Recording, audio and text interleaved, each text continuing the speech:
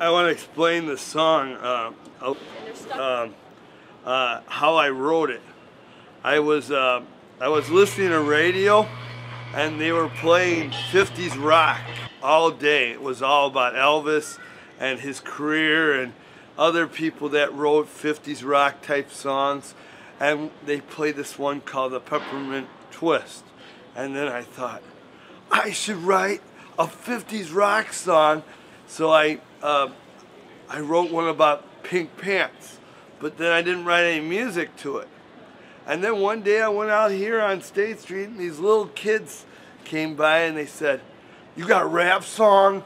I like rap.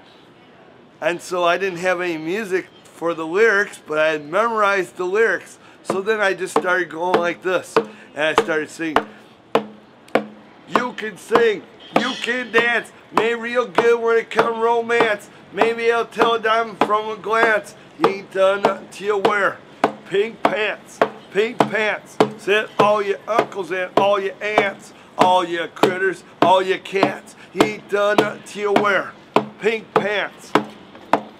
It's the latest scene, latest fad, cause women uh, scream, scream, scream. You might think I'm just a little bit obscene. You ain't done nothing till wear pink pants.